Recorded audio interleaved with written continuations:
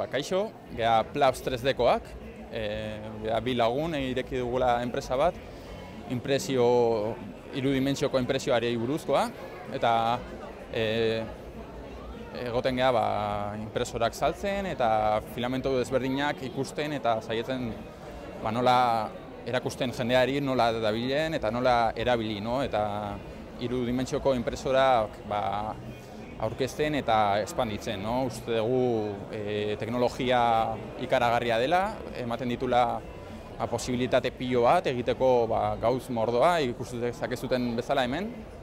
Daudela eskuetatik ba, moldea gaietakoak edo e, dozein pieza egin dezakezuten moduan.